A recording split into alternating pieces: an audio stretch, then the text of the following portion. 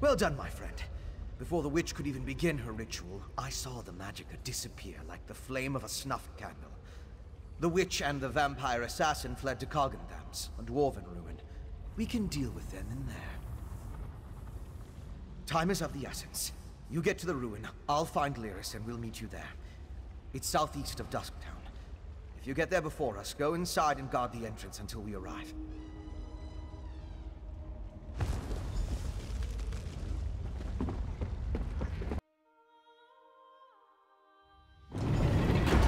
We're here.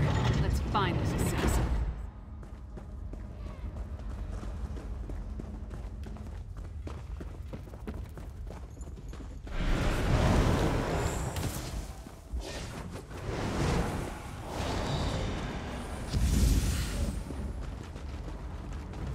You listen in. I'll unlock the door.